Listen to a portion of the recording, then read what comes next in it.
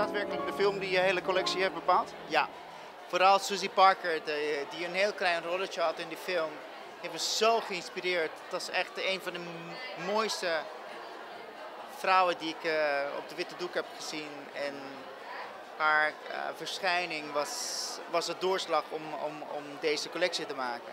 Wat is de klasse van die vrouwen uit die jaren die, die, die de vrouw zo sexy maakt voor jou misschien? Um, de koketheid, de, de, de, de stijlvolle, de klassieke eigenzinnigheid. En vooral hoe ze bewegen in die tijd. Het is een heel ander gezicht wat, uh, wat we nu gewend zijn.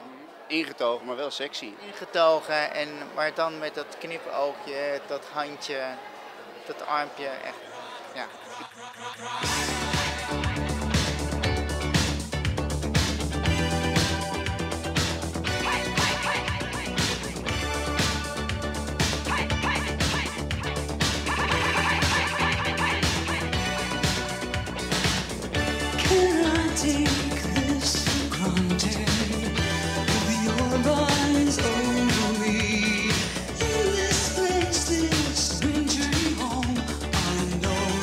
always.